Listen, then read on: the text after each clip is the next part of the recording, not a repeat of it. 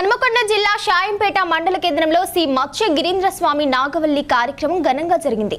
భక్తులు అధిక సంఖ్యలో పాల్గొని ప్రత్యేక పూజలు చేశారు. ఈ కార్యక్రమంలో ఆలయ ప్రధాన అర్చకులు శ్రీ కృష్ణమాచార్యులు ఆలయ కమిటీ చైర్మన్ సామాల భిక్షపతి భక్తులు పాల్గొన్నారు.